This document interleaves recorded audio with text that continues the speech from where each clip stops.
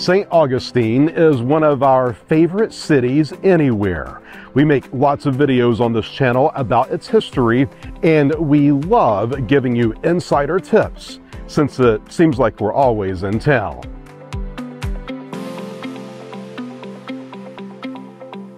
The nation's oldest city is a hotbed for new business.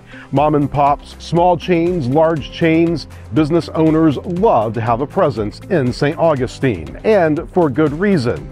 Several million people visit here every year.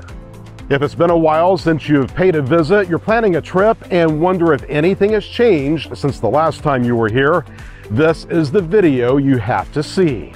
On this episode, we're taking you around St. Augustine and the beaches to show you what's new in 2023. We're hitting everything from new restaurants and lodging options to a mini museum and a couple of new donut places.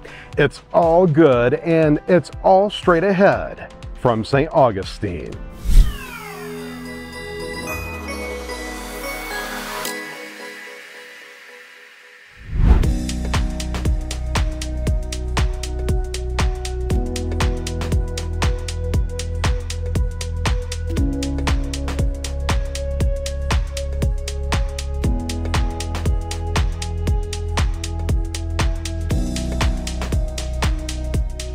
When you shop St. George Street in St. Augustine, make some time to check out the smallest walk-in museum in the nation. Karpeles Manuscript Mini Museum opened last summer and is free.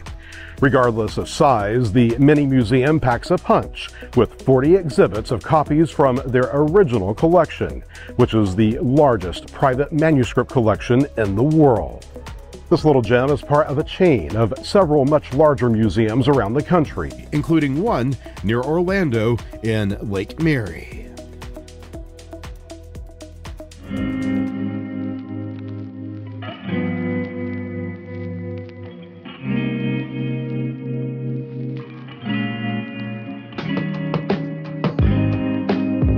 Adjacent to the city's main plaza on King Street, you'll find the St. Augustine location of a donut chain that got its start in Pittsburgh. Peace, love, and little donuts helps feed your inner hippie with three big categories on the menu groovy, far out, and funkadelic. Always made fresh with so many toppings to choose from. They also now offer vegan donuts.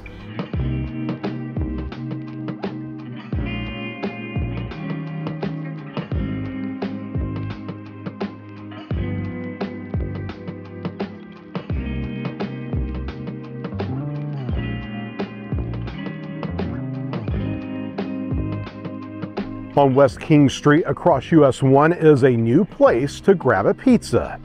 Old Town Pizza and Tavern serves up traditional American and Italian food with a twist.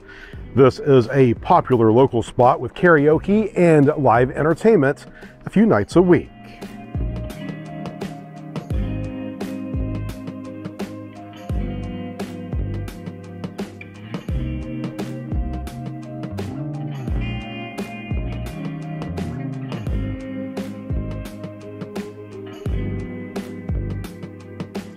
One of the newest restaurants in St. Augustine can be found here in the historic Lincolnville neighborhood.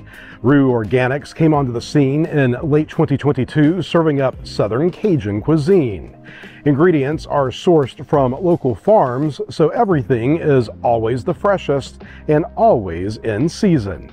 They offer both dine-in and grab-and-go options.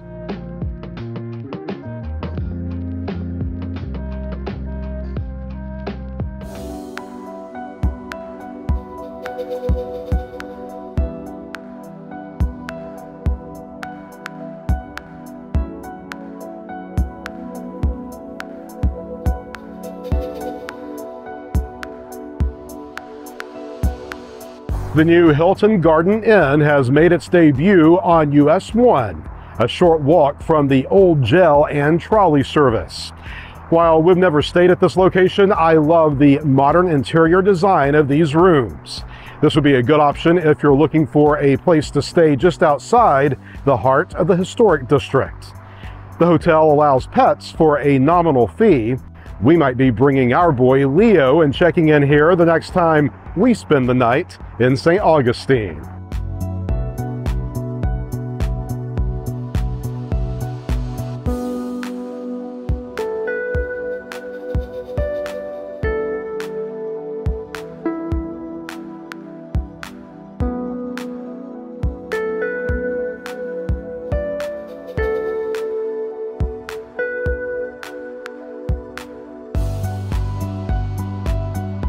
We've now made our way over to Vilano Beach, and a new eatery just steps from the sand. Surfside Kitchen opened last fall, offering brick oven pizzas with fresh ingredients, along with seafood and chicken entrees. The bar has a number of specialty cocktails to choose from. They also have live music in the evening and brunch on the weekend.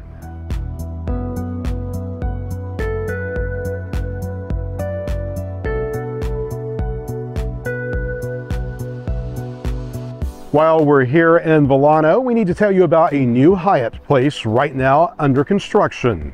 Currently taking reservations for May of 23, the hotel will have 120 rooms, including 10 suites.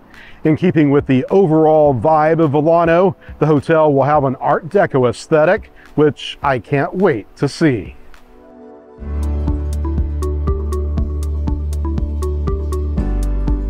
Parlor Doughnuts is a chain that was founded in 2019. The company will be opening a location in St. Augustine Beach and selling their specialty layered donuts. Gluten-friendly and keto-friendly donuts will also be on the menu. We're hoping to see this place open later in 2023. And the bonus next door in the same plaza Cousteau's Waffle and Milkshake Bar opening another location right here on A1A.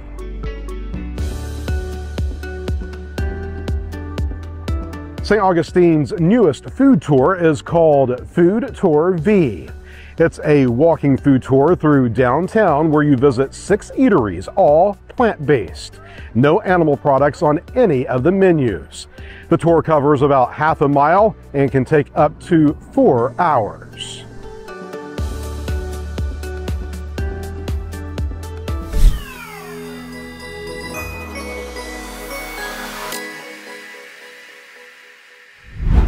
That's it. Our look at what's new in St. Augustine in 2023. Do you have plans to visit the nation's oldest city anytime soon?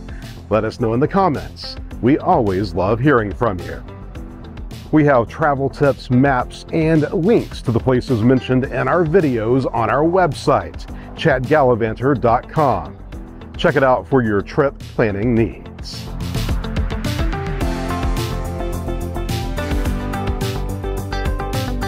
Hey, one last thing. We've produced a ton of content on St. Augustine over the years.